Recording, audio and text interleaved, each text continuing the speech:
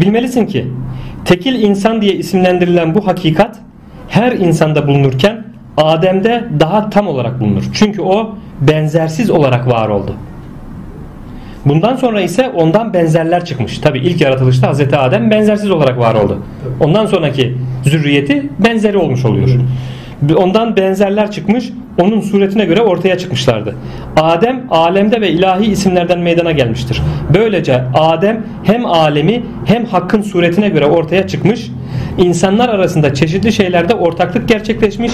Her şahıs başkasından farklılığını sağlayan bir durumla diğerlerinden ayrışmıştır. Alem de böyledir. Adem kendine özgü yönüyle tekil insan diye isimlendirilirken ortak olduğu yönüyle büyük insan diye isimlendirilir. Adem insanoğlunun babasıdır. Bu nedenle her insana dönük bir bağı ve nispeti vardır.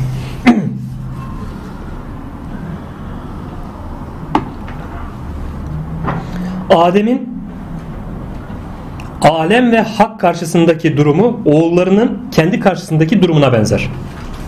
Bu nedenle alemdeki her suretten çıkan bir bağ Adem'de bulunur. Ve bu bağ kendisine doğru uzanır. Adem onun suretini korur.